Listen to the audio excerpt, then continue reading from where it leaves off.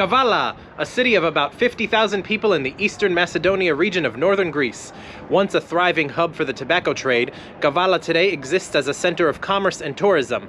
Why tourism though? Well, other than being built upon layers upon layers of history, like many places in Greece, Kavala is also a very picturesque city with a couple of very unique landmarks that are cool to see. One of which, right there behind me, a Roman-style aqueduct, which actually was not even built during the Roman times. It was actually built much more recently than that, in the 16th century, which is kind of odd for this region because Roman-style aqueducts were much more common in Western Europe, areas that were part of the western part of the Roman Empire. Kavala is a city that is built amphitheatrically around the Gulf of Kavala, which leads out into the northern Aegean Sea. So what do I mean by amphitheatrically built? Well, it's kind of built like an amphitheater. You can see right around there where it kind of begins in that direction.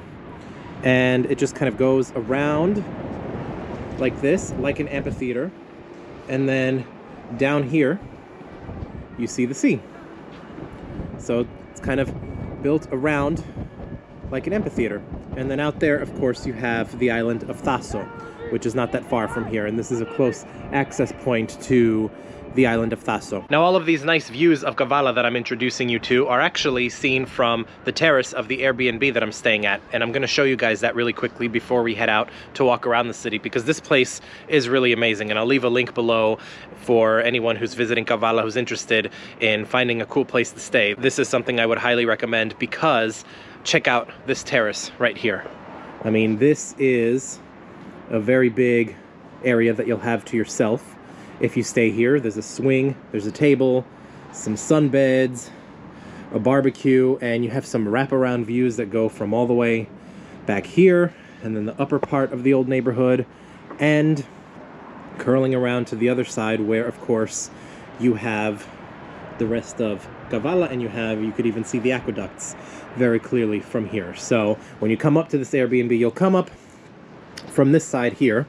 This is where the stairs come up here and this is the kitchen area that comes up from the stairs here, just like this, but it's actually separate from where your room is, which is going to be over here. And of course, this is primarily about the outside space, so the room is kind of small, but you know, you're not going to be here to be sitting inside all the time. A little bed here with big windows that you can enjoy the views of Kavala from. So, and then a little couch and a TV, a little desk for a little small workspace if you're like me and you work remotely and need somewhere to work while you're here. But that's the really cool Airbnb that I'm staying at here in Kavala. Of course, as someone who makes travel videos, the amazing views from this place are very fitting. But that is where we're starting out today. Let's go ahead and walk around the old part of Kavala. Kavala has a new town and an old town. The new town, of course, much of what you see from here on the other side of the aqueduct is the new town, but the old town is on what's called the Panagia Peninsula. If you look on a map, it's kind of like a little peninsula, and it's sort of like a mound. It's very hilly, narrow streets. Much of what we'll see today is around here on the old town, very close. Not going to need to take any transportation anywhere because we're just going to be walking around the old town and checking out the old town of Kavala here, since most of the historic sites and the sort of interesting things to see in Kavala are in the old town on the Panagia Peninsula.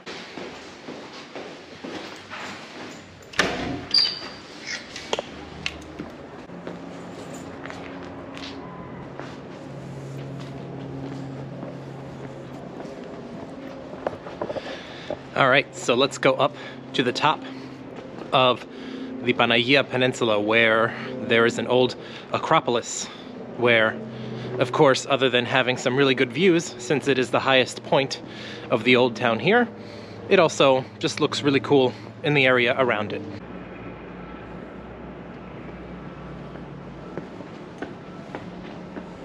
You'll get your leg workout going up this hill for sure.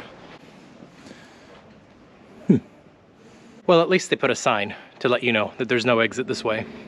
So let's try another way.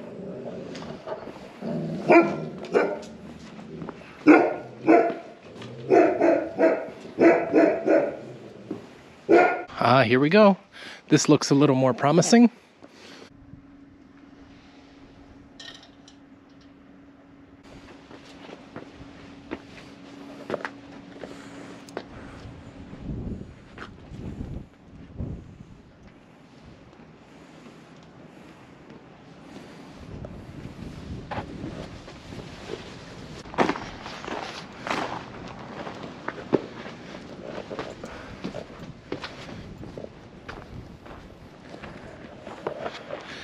All right, so we're in the castle.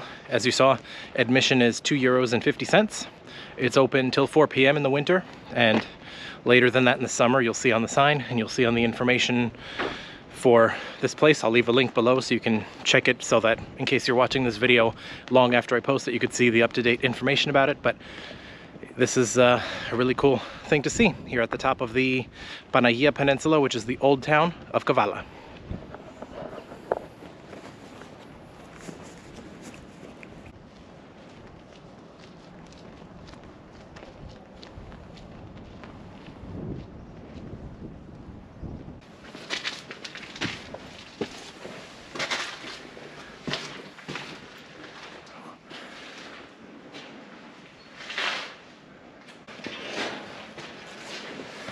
Watch your head.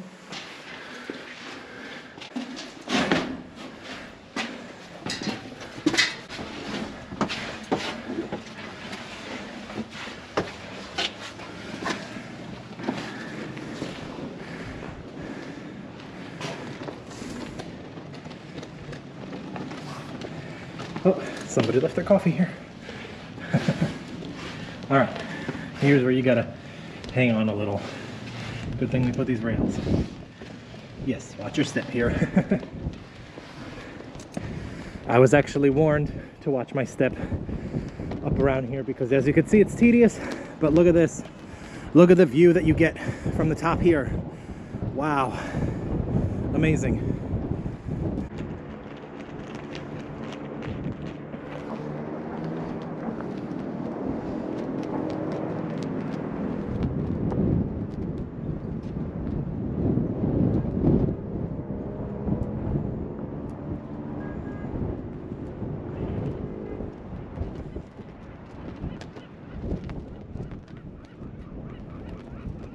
So when you come up to the top of the castle, you will be greeted with this amazing panoramic view of Kavala and of the island of Thaso, which is pretty close to here. And even if it's a less clear day than it is today, you'll probably be able to see it. One cool thing about if you come in the winter is you might get this place to yourself and it's pretty small up here so I'm actually one of the reasons I'm really glad that I get this place to myself today is because it's kind of small here and uh, there's only one way up and down and it's very very narrow so it would be uh, a bit tricky to navigate that with people going up and down. Let's go ahead and head back down check out the rest of the castle and then check out the rest of the old town of Kavala the Panagia Peninsula and I'm gonna stop filming as I walk down because as you can see it is so narrow and tedious that uh, I really should just uh, hang on and go down carefully and not film while I'm doing that.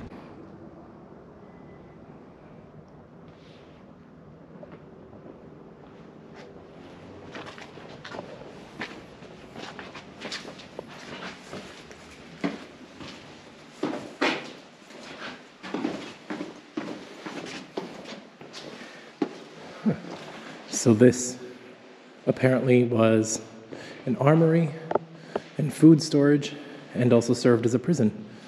Well, there's all the cannonballs.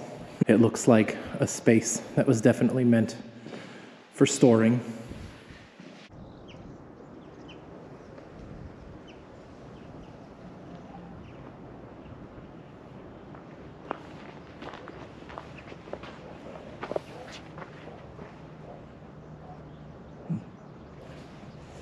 So this part apparently is much older than the tower that we were just on and even the storage area that we were just at after that.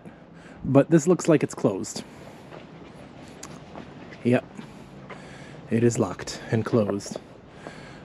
But it looks like it is the older part of this castle complex because it predates the Ottoman era, whereas other parts of it here were built soon after the Ottomans took over. And here it looks like maybe we can walk up along the wall. Let's go ahead and walk up along the wall.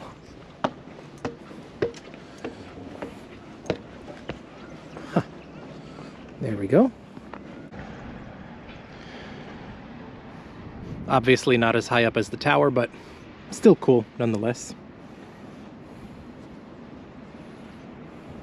And it looks like here on the other side, there's also some steps. And the steps that look like they were built into the castle rather than just put in after. And then here, a little area that, I guess maybe a little storage area, or maybe even a small prison, who knows. Not very big, but let's see. We can go up here, I assume, to this side of the walls here. Yep, here you go. And here is looking out the other way towards the land side and the rest of the city. This is from this wall here what this side of the complex looks like. So that looks like that's pretty much it. So we'll go back out that way to exit and then continue our walk around Old Kavala.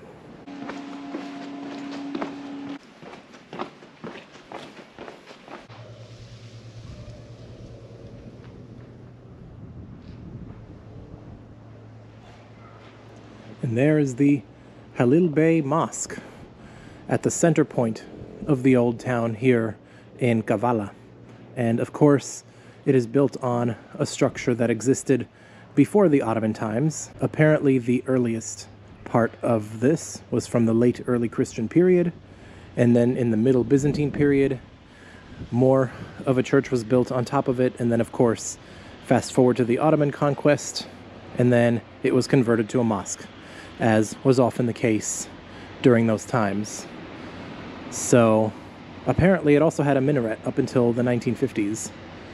It doesn't explain on the plaque what happened to it, if it was intentionally taken down or if it fell down, but the mosque itself here is not open today, so we'll just have to see it from the outside. And also this little area right next to it, which of course shows the signs of the parts of this that predate the mosque itself and even the church that was converted into a mosque. You see down below this some evidence of what this was built on top of, and apparently there was also a grave site here. So one thing that'll quickly stand out to you in the old town of Kavala is how much Ottoman history there is here, which is not surprising considering its location between Thessaloniki and Istanbul, two of the most important cities of the Ottoman Empire. This part of Greece was under Ottoman rule and influence for a lot longer than many other parts of Greece.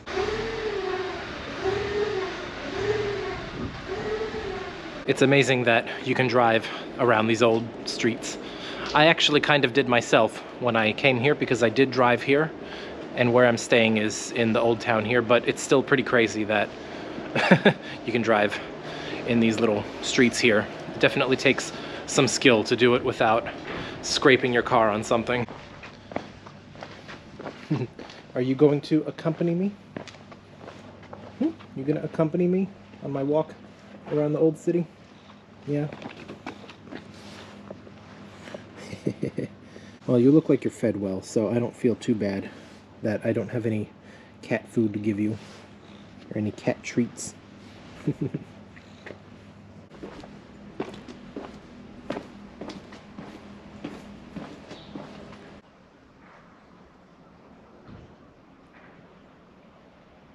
We're coming up from the backside here, but it looks like this might be it.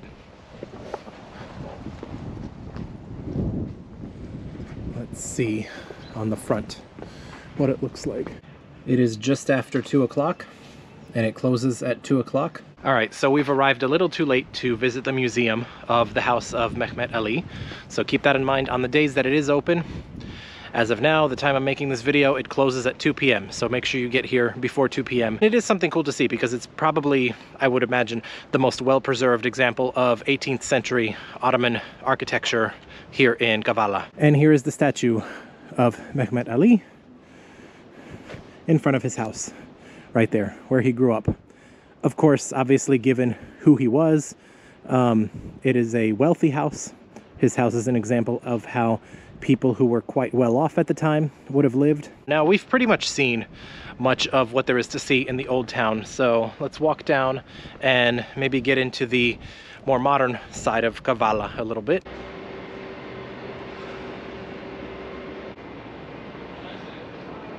One other thing that is worth seeing if you visit the old town of Kavala is the Imaret.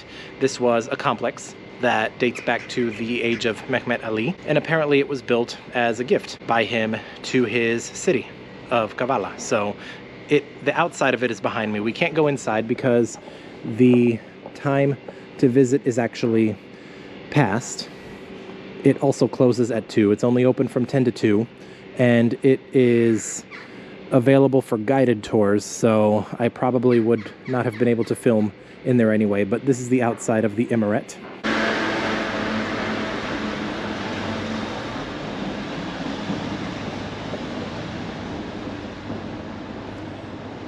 So here's a little bit of information about the old city wall, which this is a piece of that's still standing. Of course, Kavala has been around since a lot longer than the time that it is called Kavala. So a piece of that very old history from the earliest times of Kavala is in that, that piece of the wall that's there behind me.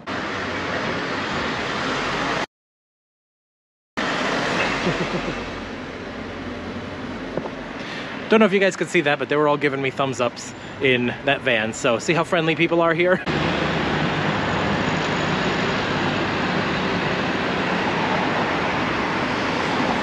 There it is, the old aqueducts behind me, or kamares as they're called in Greek. Even though they look like ancient Roman aqueducts, they actually were built in the 16th century, much more recently, during the Ottoman times.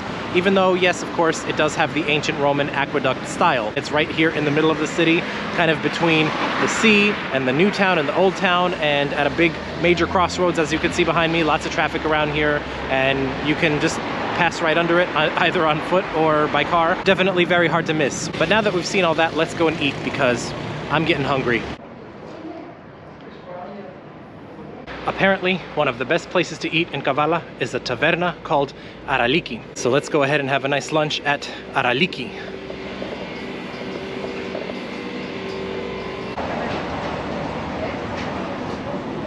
It's a local craft beer that was recommended to me, so let's go ahead and try it as we wait for our food.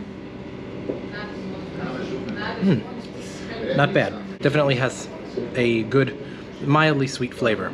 So uh, if you're into trying local beers and you're visiting Kavala, might be worth trying a bottle of Marmita. If you like red ales, you'll probably like it. And while we wait for our main course, we have our roca salad. Obviously that's not unique to Kavala. You can find a good roca salad pretty much anywhere in Greece. A lot of places I've been to I've had this salad. It's one of my favorites. And some bread. So go ahead and enjoy that while we wait for our main course. All right, here is our kondosouvli. This was recommended to me by the restaurant as their best dish here, the pork kondosouvli. So let's go ahead and dig in. It sure look it sure looks and smells delicious.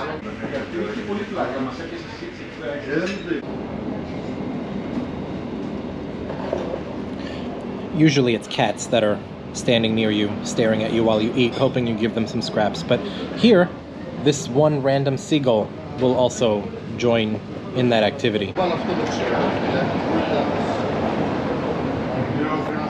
And of course, the complimentary sweet at the end of the meal. I think the good reviews of this restaurant are definitely justified. And apparently, this guy here thinks so too. This one random seagull has not left my side the entire time that I have been sitting here. So that was our delicious meal at Araliki, which is actually right across from the Imaret. So it's close to one of the most well-known landmarks here in the old town of Kavala. And I asked the waiter on the way out what Araliki meant, because I didn't know what that word meant. I, I never heard that word in Greek before. And he said it basically means to chill or to relax. So I guess you could say the name is fitting because it was a chill and relaxed kind of place to go and eat and enjoy a meal.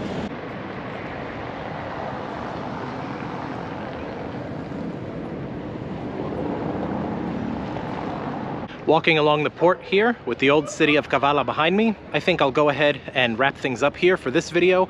I've spent one full day here in Kavala, which I think is a long enough time for you to see what there is to see in the city itself. Now, of course, there's some places just outside of Kavala that are worth seeing as well. So if you spend an extra day or two in Kavala, definitely go and see those places. But one day should be enough in Kavala itself. And if it's a nice sunny day like it was for me today, then you'll get to enjoy the nice views of this very nice looking city in the East Macedonia region of northern Greece. We'll leave it off at that. Thank you, those of you who have watched this video. Extra thank you to those of you who have subscribed. And if you haven't subscribed, go ahead and hit the subscribe button so that you don't miss what's coming up next on Global Niko. So until then, take care and travel better.